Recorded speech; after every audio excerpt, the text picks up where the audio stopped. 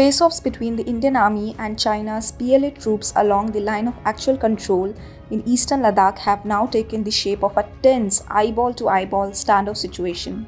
Comparisons are being made with the Doklam standoff in 2017, but a careful analysis reveals that the situation here is more serious than the 2017 standoff. The ongoing tensions in eastern Ladakh could see China and India get involved in a swift, limited theater armed conflict, one that might be the biggest of all armed confrontations between the two Asian neighbors since the 1967 Nathula battle. The reasons for considering the ongoing tensions as more serious than the Doklam standoff are many. First of all, the recent reports suggest that the standoff is not limited to one particular spot, unlike the 2017 standoff. According to the Indian Express, the People's Liberation Army has intruded across the three places in the Galwan River area in Ladakh.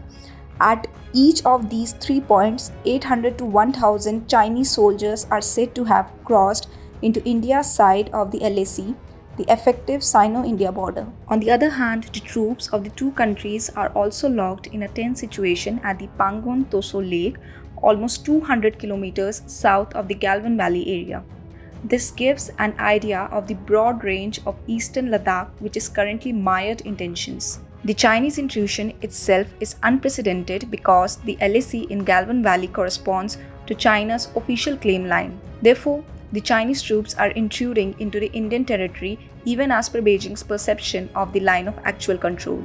Secondly, the face offs here are more intense than they were in Doklam before the 73 day standoff situation developed in 2017. Sources told ANI the behavior of the Chinese has been like the Pakistan backed stone pelters who use stones and sticks to target Indian security forces in the Kashmir Valley.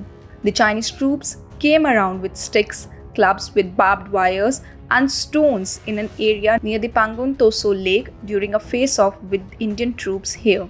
Sources also hint larger numbers during the face offs as the Chinese troops arrived like locust swarms. An India Today report has revealed satellite images which showed tents, trucks, and earth moving machinery in the Galwan River Valley.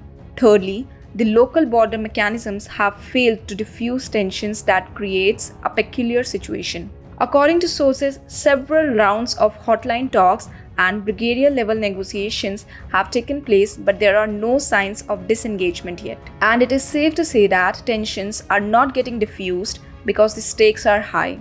Beijing's growing concerns over the China Pakistan economic corridor and Gilgit Baltistan have set the tone for increased Chinese activity in Ladakh. CPEC is too big a project for China's ambitious Belt and Road Initiative as it helps Beijing reach the Gwadar port in Pakistan.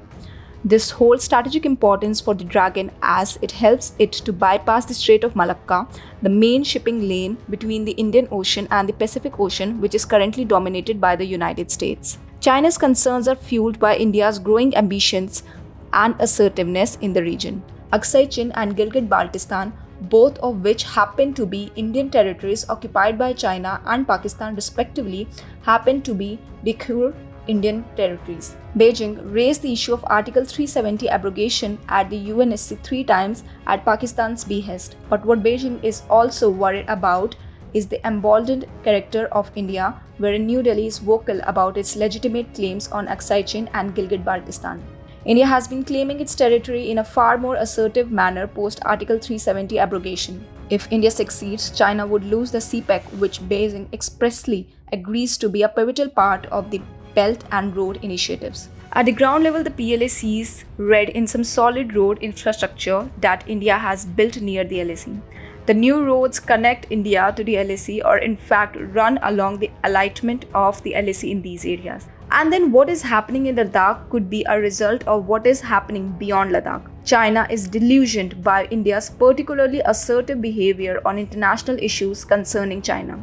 India has started to take a stand on different issues, signing an EU drafted document for an investigation into the zoonotic origins of the coronavirus and somewhat tilting in favor of Taiwan's pro independence leadership. To irk the dragon further, India is also accelerating the exodus of foreign companies from China. China is trying to warn India against taking such a bold stance through border clashes, but India isn't backing off. While China cannot afford to disengage, the country got a bloody nose during the Doklam standoff, and the PLA cannot afford another embarrassment. China wants top level politico diplomatic intervention from India's side, but India is not even a pale shadow of timid player that it used to be. At the root of the skirmishes are India's growing ambitions and assertiveness. China wants to cut India to size while the latter is not backing off. This is why the Ladakh stalemate might not end anytime soon and we might as well witness the biggest short term armed confrontation since 1967.